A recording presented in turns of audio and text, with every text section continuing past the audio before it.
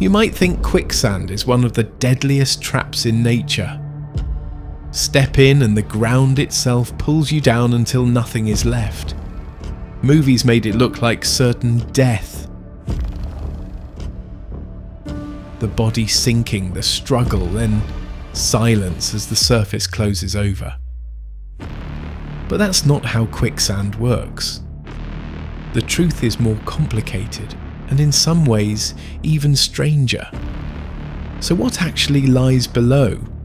What happens to the things that sink in? Would we ever find them again, or are they still down there waiting? In this video, we're going to bust the myths, dig into the science, and see where quicksand really appears in the world.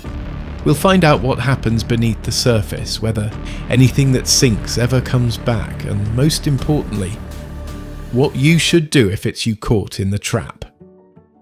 My name is Mark Watts. Welcome to Deep Science. At first sight, quicksand looks ordinary a damp patch on a riverbank, a hollow in the desert, or a stretch of mud left by the tide. Nothing about it warns you to keep away. Yet beneath that surface, the ground is in a fragile balance. Disturb it and the soil changes character completely. Quicksand forms when fine grains of sand mix with water in just the right proportions. The upward flow of water reduces the friction between sand particles, suspending them in water and creating a loose, unstable mixture.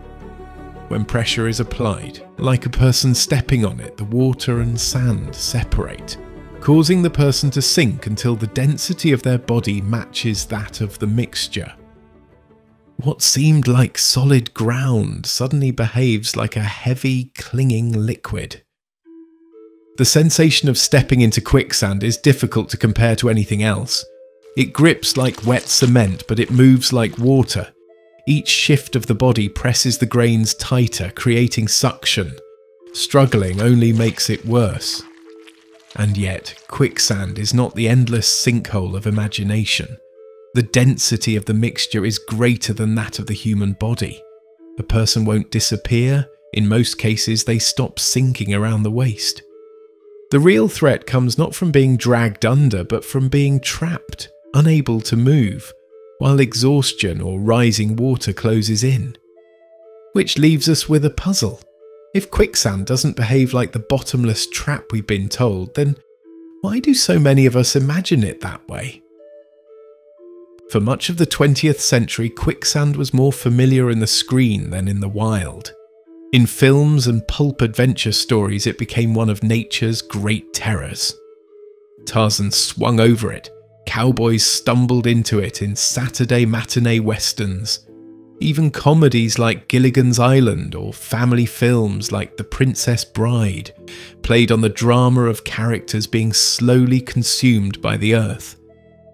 The scenes were always the same. A character strays, the ground gives way, and they sink slowly but steadily until only a hand or a hat remains. It was a perfect plot device, Sudden peril, no villain required. But the science tells another story. Quicksand is denser than the human body, so you'd float long before vanishing. Terrifying, yes, but not bottomless. Another exaggeration was speed. The word quicksand suggests instant collapse, as though the ground swallows you whole in seconds. In reality, sinking happens slowly, the danger lies in the effort to escape. Every thrash presses the grains tighter, every frantic pull makes the trap stronger. Add exhaustion or an incoming tide, and the peril becomes clear. So the stories misled us. Yet they weren't entirely wrong. People do get trapped, people have drowned in tidal flats. And that is why scientists eventually set out to investigate. Could they recreate quicksand in the lab? Could they measure exactly what happens when something sinks into it? To separate myth from reality, scientists in the Netherlands set out to create quicksand under controlled conditions. In the lab, they mixed sand, clay, and salt water, then lowered weighted objects, including a human sized dummy, into the slurry. The results were decisive. The dummy didn't vanish, it sank only part way, floating around the waistline, just as physics predicted. The old Hollywood image of quicksand as a bottomless pit was impossible. But the experiments also revealed something less reassuring. Freeing a trapped leg could require the same amount of force as lifting a small car. The harder you pull, the tighter the grip. This explained why people become exhausted and why panic can be fatal even when the sand itself cannot drag them under. The researchers went further. They tested objects of different sizes and weights. Heavy ones sank deeper, lighter ones stayed near the surface, and sometimes, as the sand and water shifted, items that had been swallowed were slowly pushed back up again. Quicksand was not a one-way trip to oblivion. It was a restless system, sometimes burying, sometimes surrendering what it held. And this wasn't just a curiosity, the study of quicksand helped scientists understand other unstable soils. The same physics governs landslides and a process called soil liquefaction, when the ground behaves like liquid during an earthquake. Even robotics teams have studied quicksand to design machines that can move across treacherous terrain. So, what began as an attempt to debunk a movie myth ended up illuminating the hidden behaviour of the Earth itself. But that still leaves a question. If scientists can explain how quicksand works in theory, where on Earth do we actually find it in practice? This is the Amazon riverbank where the ground never stays the same for long. The river carries more water and sediment than any other on Earth, constantly reshaping its edges. In the rainy season, whole sections of soil loosen until they hover in that fragile balance we call quicksand. To travellers, it looks like ordinary mud, but locals know the warning signs step wrong, and the ground pulls you in and this is Death Valley in California, a place better known for heat than for water. It seems the last place you'd expect to find quicksand. Yet when flash floods sweep through its canyons, they leave behind pockets of fine sediment soaked and unstable. A crust forms on the surface, looking safe, but beneath it lies ground that collapses under pressure. Even in the desert, quicksand waits. These are the tidal flats of the Wadden Sea stretching along the coasts of the Netherlands, Germany and Denmark. Twice a day the tide retreats for miles exposing a vast seabed. To the eye it looks walkable, almost inviting, but buried beneath the surface is blubber mud, a kind of quicksand that grips the legs like iron. For centuries it has taken lives, Entire groups of travellers vanished here trapped before the tide rolled back in. This is the Mekong Delta in Vietnam, one of the most fertile landscapes on Earth. Nine channels of the Mekong spread into a maze of waterways, carrying endless silt into the soil. Farmers and fishermen know the risk of unstable ground here, Step into the wrong patch and the land, waterlogged and fine grained, can suddenly give way, as though the river itself had reclaimed it. And these are the sands of Morecambe Bay in England. Wide, flat and beautiful, but dangerous. The bay's channels shift constantly, redrawn by each tide. For centuries, guides led travellers safely across because venturing alone meant risking the quicksand. Even today, with maps and warnings, people are caught here. The danger is not legend, it is living memory. Different places, different climates, but the same unnerving result landscapes that look safe yet hide traps beneath the surface. And that brings us to the deepest mystery of all. When something sinks into quicksand, an object, an animal, even a person, what becomes of it? Does it stay hidden forever or does the ground eventually return it? The answer depends on physics, chemistry and time. Quicksand is rarely deep, a few feet at most. Objects don't fall into endless voids. They settle at a level determined by their density. Lighter items like wood or clothing stay closer to the surface. Heavy ones, metal tools, boots, or packs, can sink deeper into the slurry. But even then, the shifting movement of water and sand sometimes pushes them back up. Quicksand doesn't always keep what it takes, but in some cases can also preserve what falls into it.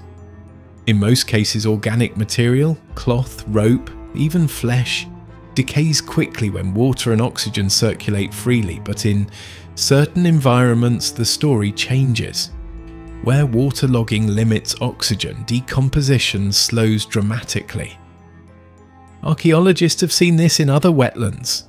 The famous bog bodies of northern Europe, preserved with hair and skin intact after thousands of years, wooden tools and boats found in tidal mud flats, even seeds and textiles perfectly sealed by sediment. Quicksand can create similar conditions. If a body or object becomes buried in a patch with low oxygen flow, it may remain intact far longer than expected. Instead of destruction, the ground can offer protection, but most of the time quicksand is restless. Sediment shifts, water rises and falls.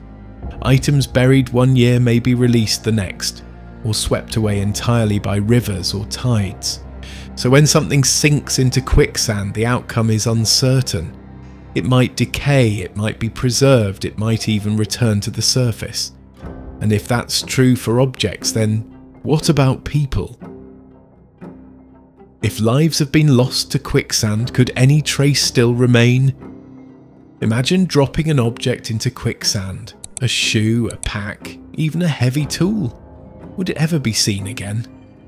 The outcome depends on three factors weight, density, and the movement of the ground itself. Light objects like fabric or wood tend to remain near the surface. Quicksand is denser than water, so buoyant materials have a tendency to float within it rather than sink out of reach. In many cases, they would resurface as the sand shifts. Heavier objects behave differently. Metal, stone, or even waterlogged boots can sink deeper, compressing into the softer layers below. But even then, they rarely vanish forever. As water seeps and sediments rearrange, the same processes that pull objects down can also push them back upward over time. Quicksand is not a static system, it breathes, it moves, and it sometimes returns what it once took. But there are limits. In tidal regions, items may be buried under successive layers of silt, locking them beyond reach. In riverbanks, currents can drag them sideways, embedding them far from where they were lost, and in some cases, decomposition will erase them entirely, leaving no trace at all. So, would you find the swallowed things? Sometimes. The physics of quicksand makes complete disappearance unlikely, but recovery is never certain. Objects may rise, scatter, or dissolve, depending on where and how they sank. And if that's true for lost objects, then the same question applies to us. What would actually happen if you were the one caught in quicksand? And what would it take to escape? Picture it. You're waist deep in quicksand, the tide creeping closer. Every instinct tells you to fight, kick, thrash, claw your way out. But the harder you move, the tighter the sand locks around you. Panic is the enemy. The first step is stillness. Breathe. Slow your heartbeat. Quicksand only grips harder when you struggle. Then lean back. Spread your arms. The same density that stops you from sinking completely can also help you float if you allow it. Your body is lighter than quicksand. Use that fact. Now work one leg free at a time. Don't yank upward. Wiggle, let water seep in, feel the grains loosen around you. It may take minutes, but patience creates the space that brute force never will. And finally, think wide, not deep. A branch, a backpack, even your own arms pressed flat. Anything that spreads your weight makes escape easier crawl or roll toward firmer ground rather than trying to climb straight out. Most people don't die from the sand itself. They die from exhaustion or from water closing in before they can break free. Survival depends less on strength than on calm, deliberate action. For something so uncommon in nature, quicksand has had an outsized life in our imagination. During the golden age of pulp cinema, it became one of the stock perils of adventure. Tarzan swung above it, cowboys stumbled into it, explorers in B movies vanished into it. Even comedies like Gilligan's Island or fantasy tales like The Princess Bride found room for the drama of slow sinking. For decades, quicksand was as much a fixture on screen as volcanoes, quick escapes, or jungle pits. The reason was simple. It was a perfect device for storytellers, the ground itself turning traitor, a threat that appeared without warning, demanding no elaborate setup. It was peril stripped down to its essence, sudden helplessness, the earth devouring its own characters. By the 1990s, though, the trope had worn thin. Filmmakers used it less and less, audiences grew wise to the cliche. But the metaphor outlasted the genre. Even today, people describe overwhelming situations as like quicksand, a trap that only tightens the more you fight. It has become shorthand for struggle, for paralysis, for losing control.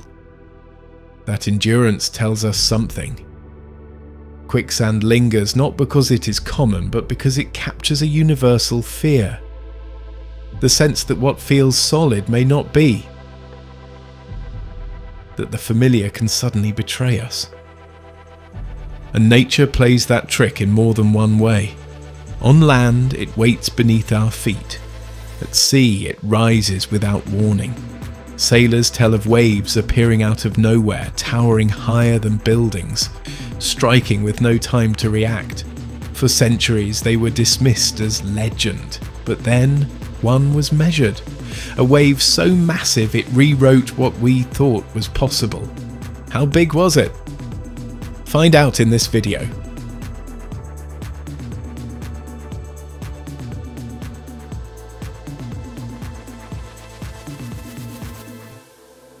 If you've enjoyed this video, please subscribe to my channel and let me know in the comments what I should cover next.